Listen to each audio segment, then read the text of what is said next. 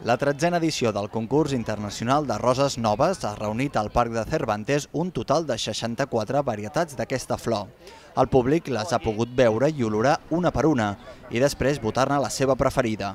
Cada persona en valora aspectes diferents. I el color sobretot, el color i la forma. A mi la sensació que em fa, el que sento quan la veig. No, mucho las que huelen. Sobre todo me llama la atención el colorido.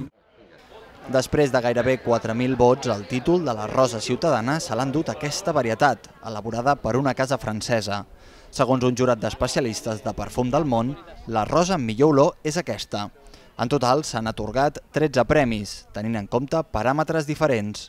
En aquesta varietat podem veure doncs, unes tiges perfectes, una vegetació molt sana, no hi ha cap presència de malaltia, un bonic color, una forma festonejada del pètal molt interessant, a més, eh, un diferent, el diferent estat de maduresa de la flor, des que és punzella fins que la flor és ben oberta, doncs és sempre magnífic i a més amb un perfum extraordinari de rosa amb uns tocs cítrics. El bon temps ha propiciat que el Parc de Cervantes s'hagi convertit en un degoteig constant de ciutadans curiosos. La veritat és que hem fet una volta curteta perquè amb nens és difícil, però totes són meravelloses perquè estem acostumats a les, a les roses clons, no? I de, de, de sobte arribar aquí i veure que n'hi ha 50.000 varietats és preciós. Molt maques totes, la veritat és que sí, és que hi ha un sortit tan, tan gran que és difícil valorar quina t'agrada més.